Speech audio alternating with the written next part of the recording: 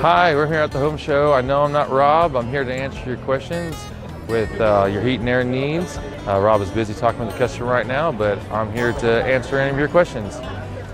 What is the most common problem right now that you see when you're servicing furnaces? So the problems we got right now, being the time of year, it's later in the year. Um, what we see right now is a lot of dirty, dirty filters and dirty flame sensors.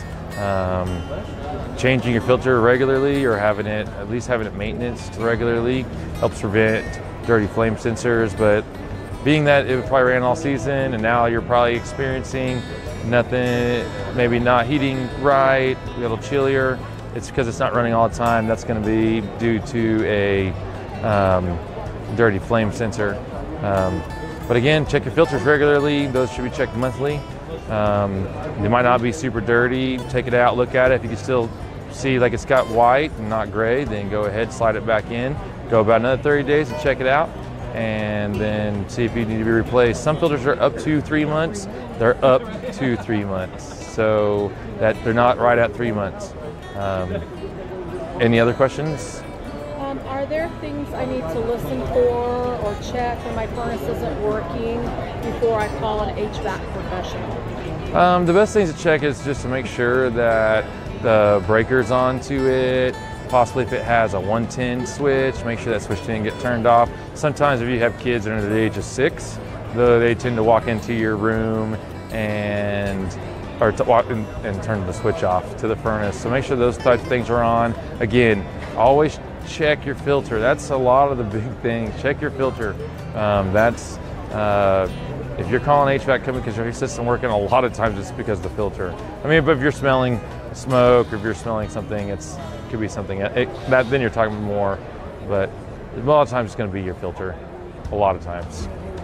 Is there any reason that a furnace would have a smell, uh, you know, that would be normal compared to what I should be worried about? Uh, I mean, if you're smelling like electrical smells or anything like that, that's probably something to do with the motor or something like that, something on, on that type of side. That's terrible. You shouldn't really be smelling anything come out of your come out of your HVAC system. Except at the beginning when you first turn. Except for yeah, at the beginning of the season. Yeah, that should be the last time you you smell something, but only at the beginning. So, um, what happens if I change the air filter and then all of a sudden my uh, furnace isn't working? Um, that could be a couple of that could be a couple of different things. Um, did how did you change your filter? Did you take the bottom door off your filter? Did you? Um, that could be a couple. Again, again, go back to we're starting. Go make sure the breaker's on. Go make sure you have your thermostats on. Those types of things, or make sure you put the door on. Get it get it on nice and tight. So if the door's not on, it won't run. Yes, if the bottom door's not on, um, you, your furnace won't run. That there's a safety switch inside the cabinet, and if that switch is not depressed in, which means the door's not on tight, your furnace won't power up. Brand new one.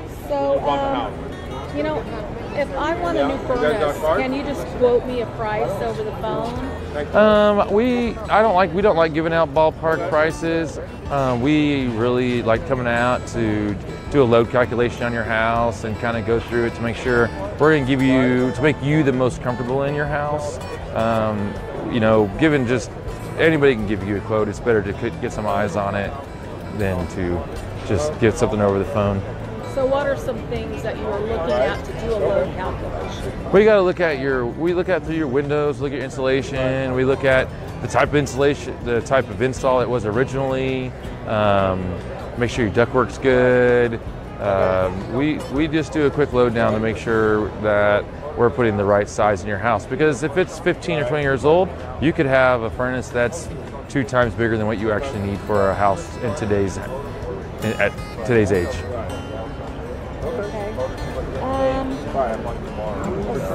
All right, all right, man. Thank you. Air filter. We're talking about air filters. Um, oh, what type of air filter does it matter? What kind of air filter I use? Um, it does, but it doesn't matter. I mean, I don't recommend using a 50 cents to a dollar filter, um, but I also don't recommend using a Filtrete 20, uh, 20 MERV rating high hypoallergenic filter. Um, sticking with the just sticking with the general MERV 11, MERV 12 one inch pleated filter. That's going to do what it needs to do and, filter your house.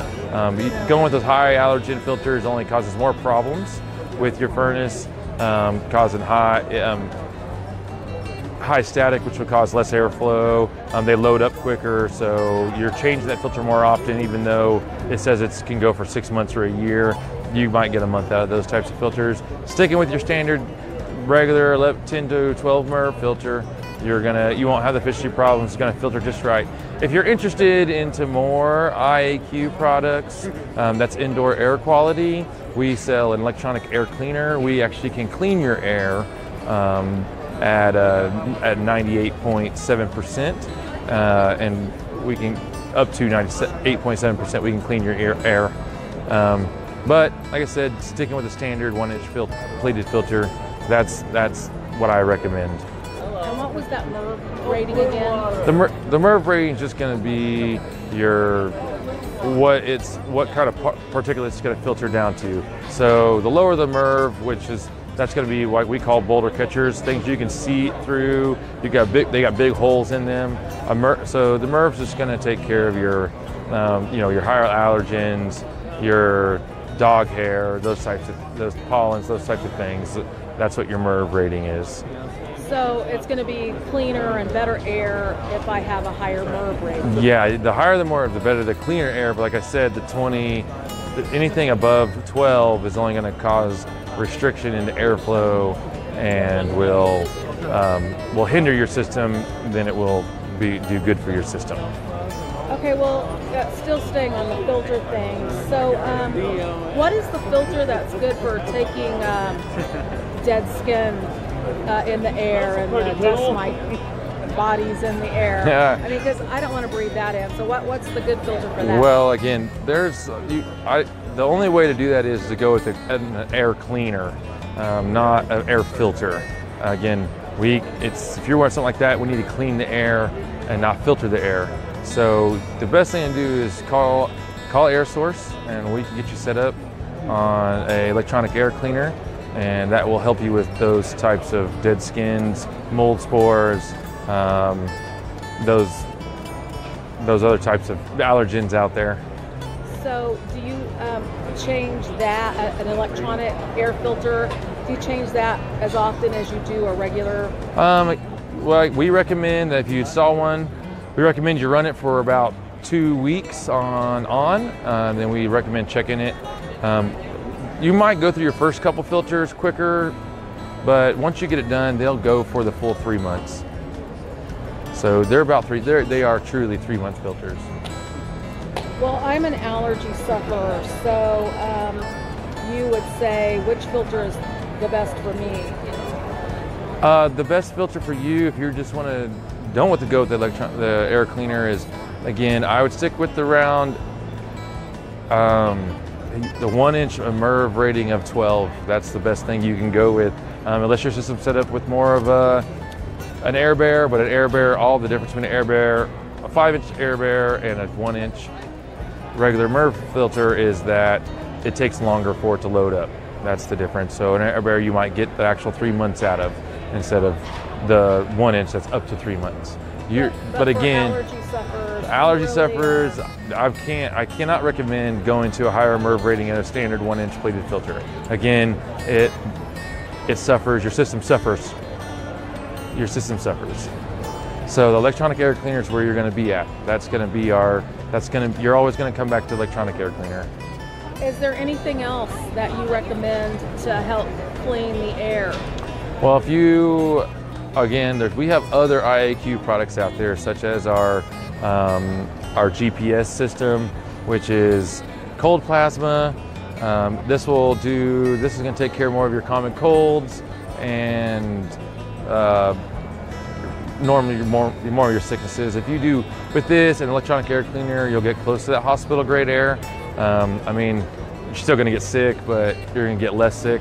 So if you're normally getting sick, you know, eight times during the winter, you know, you're going to cut that down to probably about three to four times during the winter. I mean, that's huge when it comes to, you know, paychecks and money. Saves you money. So, Um, I do have a, a question from Levi. Um, He's asking, are you guys hiring? Uh, we're not hiring at the moment, um, but it's always good to put in your. Um, actually, we are looking for a sales guy.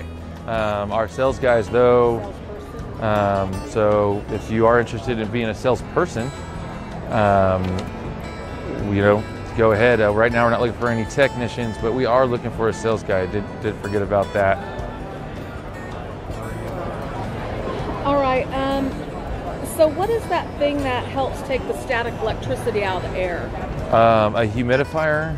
Is that Okay. So a humidifier, you're actually coming to the end of the season now where we don't, you're not going to be using the humidifier as much. Your furnace isn't running as nearly as what it was. Um, those are only really good for the summer or the winter time um, to keep the humidity in the air. Those are, you know, if you're feeling like you get off your couch, you take a jacket off, you're feeling the static going on, you need a humidifier. For temporary, you should boil some water. That'll get you by. Um, you know, that'll settle some of that down if you got really, really high static in your house and your furnace is running longer. Um, but this time of year, your furnace isn't as running as nearly as it was two weeks ago. So, um, but again, a humidifier, I recommend a humidifier if you are feeling that dry skin, itchy skin, you know, bloody noses, those types of things. If you're constantly having those, I do recommend getting a humidifier. But again, to get you by, throw, throw a big pot of boiling water on the stove and that'll make you feel better. So is that humidifier, is that something that takes, like if I'm going to turn on the light switch, you know, and I get that shock? Yes, it's going to take that type of things away. It takes, it, again, well, all what what feeling static electricity means you're dry. The house is dry, so you're so every time you go across the carpet, you go across your hair, you take your house is dry. That static electricity comes from a dry house. Putting moisture into your house, what you need. That's what a humidifier does. It puts moisture in. So similar to an air conditioner, but the difference is your air conditioner puts moisture with, puts moisture in your house, your furnace takes moisture out of the house. So we got to add some back in because the, furnace dries your house out. Again, I recommend humidifier. Give us a call. Um, a low-end humidifier we put in around $500 installed. Um, you want to go with more of a powered humidifier, around 650 bucks. That'll get you all set up and ready to go.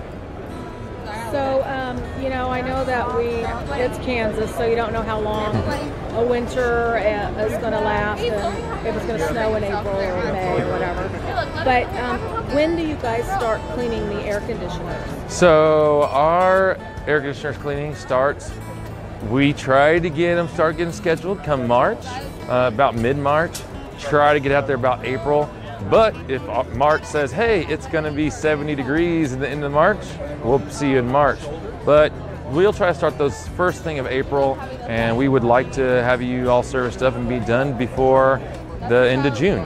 So that's where we try to there. So, but um, now's the time to start getting them scheduled. We get um, now's the time to start getting them scheduled. We're running a home show price of 110.99. That covers six months of our service club membership and uh, gives you and does give you your first cleaning. Our special, if we do if we, if we do run a special, um, is going to be $99, and that only covers the cleaning for the air conditioner. But right now, this weekend, if you do our home show special, it's $110.99, and again, that covers six months of our service club membership, and uh, so that gives you all the discounts and the red carpet treatment And so with that, um, what, what does that service club membership cover? So, what the Service Club membership covers is we come out twice a year. We do a 23 point inspection on each of your systems one for the furnace, uh, one for the AC.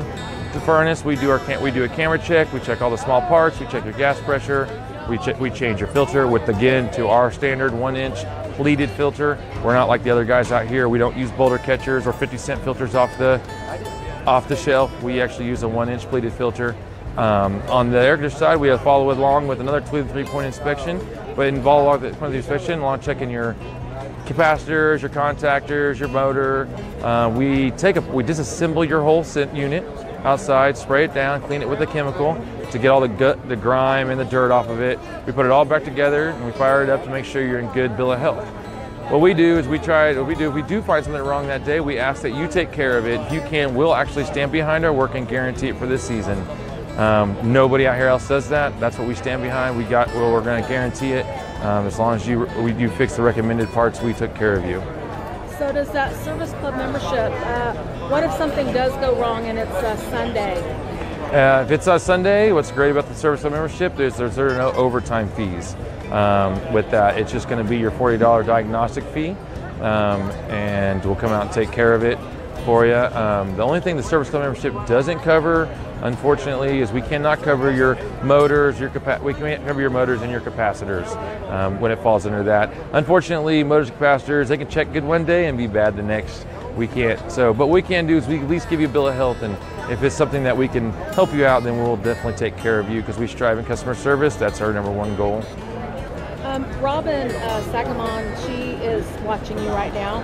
And hi, Robin. Hello. And says, how often should we service our HVAC unit to help make it last longer? You should definitely have it serviced again, but twice a year. You need to have once for the spring coming up, and then once again for the furnace after that. Um, that that keeps you in good bill of health every year. Um, we live in Kansas.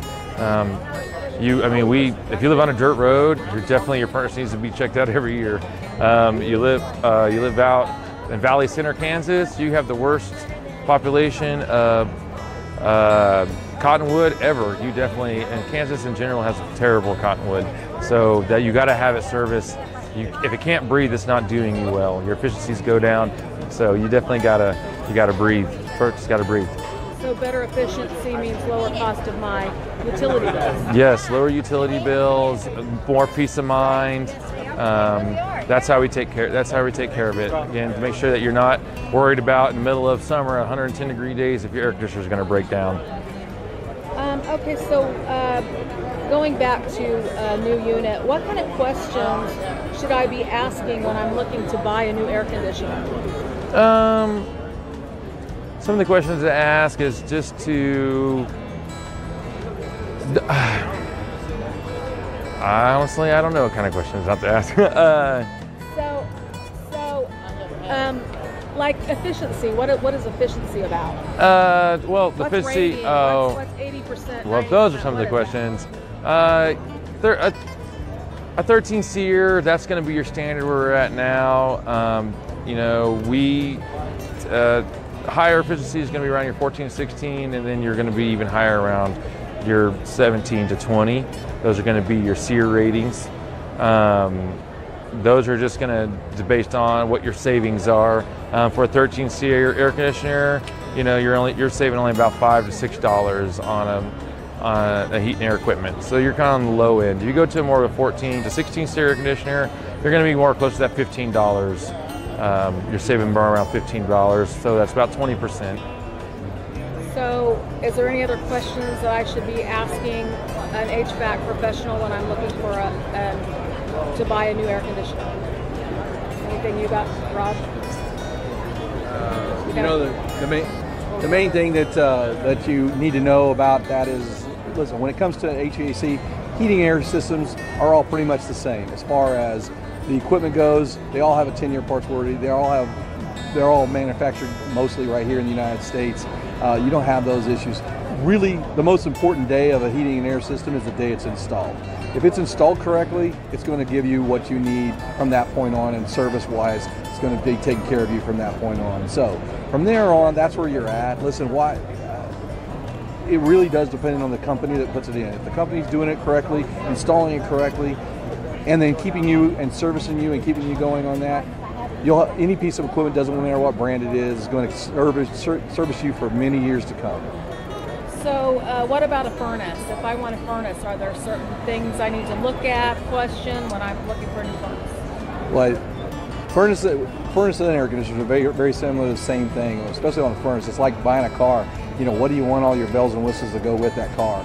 Uh, you know, for a furnace, we, start out at an 80% efficiency furnace, you go up to all the way up to a 95% efficiency furnace. It has different things as far as, you know, two stage, single stage, um, you know, variable speed, all kinds of different bells and whistles that comes with the furnace. So, you know, it really depends on what you're looking for and what you're trying to do with it.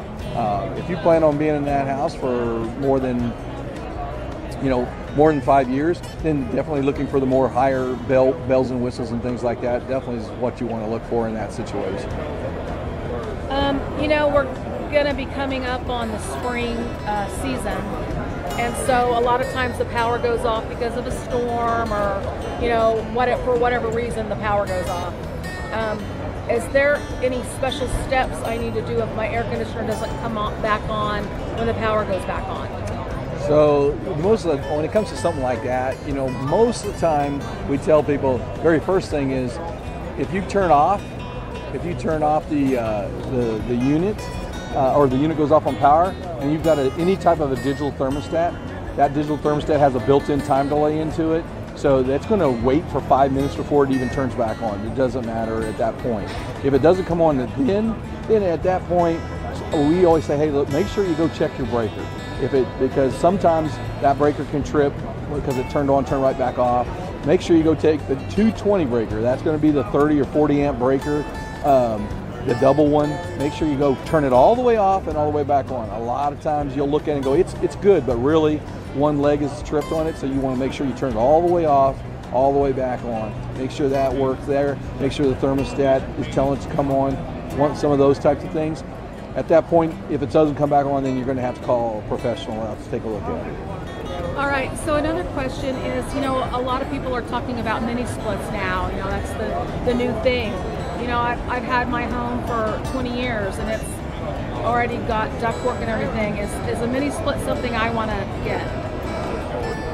A mini split, really, when it comes to a mini split system, um, they're great for add-on type of equipment. They're great for doing uh, if you're adding a room or if you have what I call a problem child room, where, where a room is hot or cold or those types of things, and you're always having problems with that.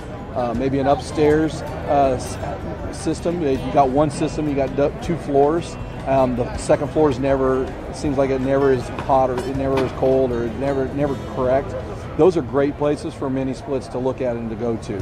That being said, you're looking at replacing your system and uh, and then and then replacing and putting it with a mini split, then it becomes a different problem because you already have your ductwork, you already have a lot of things. It's going to get really could get really expensive putting in a mini split system for the whole house in that situation. If you don't have anything, maybe you've got a floor furnace or you've got a wall furnace and you're looking at putting heating and air system in and there, that a mini split definitely is a place to look at first or as an option instead of a, a conventional system.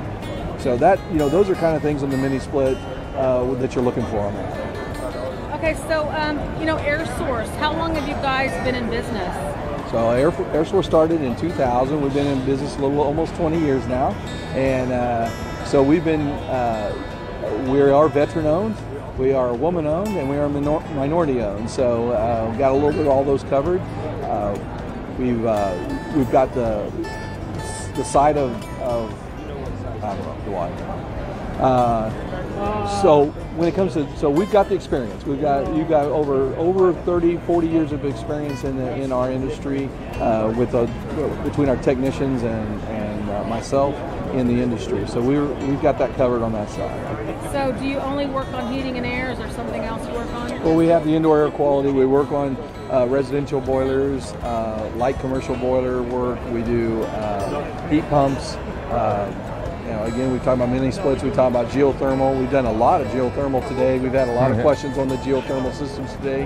Uh, we do work on geothermals. We install geothermal, so we're a part of that. So, just keeping those things in mind on that side of it. So, um, do you just service the Wichita area? Uh, the area we service is we service a 25 mile radius of Wichita, and we can go further. We go a little further out there, but we don't have a trip charge for anything within a 25 mile radius of Wichita, and then beyond that, uh, depending on where it is, we we can go there, but we may have a trip charge on that. So, uh, what if I want to check my own heating and air issue, um, and I have a question? Can I just call you? We do a lot of questions. People call us with some issues, minor issues. We try if we can talk you through a little bit here, a little bit there, and get you going. Then we're gonna, yeah, hey, I, I don't have a problem in talking to you, giving you some suggestions to tra- check and try to get you running and going. But you know, in the, in the end, you know, it, it's possible. I can say, look, I, at this point, I've given you all the points I can give you, and I'm gonna we're going to have to send out a technician to take a look and see what's going on at that point. But we have no problem giving some advice on, you know, what, what you can check and make sure, you know, I'd hate to call, go send a technician out just to flip a switch. That's, that's why I tell people, I'd rather you, you go out and try to flip that switch and get it to run and save you a little bit of money on that. All right, just one more question. So um, we talked about club membership and how much it would cost if uh, I had a problem on a Sunday, you know, or a diagnosis, and then it'll be plus repair. Um, what if I'm not a club member? How much would it cost me? So uh, if you're not a non-club member, you know our diagnostic charge normally is 75 during the business hour. It's 90 dollars uh, after hours or on weekends and holidays. Plus, then you would also have whatever was wrong with the system. So at that point, so um, if you're a club member, then you have you have no we have no overtime on that. You don't have and uh, and the diagnostic charge is only 40 dollars uh, for the service for that for a service call on that part of it. So, and then you're going to get a 20% discount on any uh, on anything that's going with the uh, as far as anything wrong repairs. Thank you. Any repairs or those types of things. If you have anything like that, you're going to get a 20% discount on top of that. So we have no overtime charge, and you get priority. So we have a priority on top of that. All right. Well, thank you so much for all that information, and thank you for the questions you guys had. Um, hi, Austin and Andrew and Wayne. Hi. And Leslie. Hello. Hello. Austin, Leslie. Awesome. Thank you Hi, for guys. tuning thank, in. Thank you so much for watching. And you know, if you have questions, you can message us here on Facebook. You can give us a call 316 um, 869 0198. Um, but we are glad to help you. Uh, we love helping people, and that's who we are here at All right. Air Source. Thank Thank, you so much. Thank you. Thank you.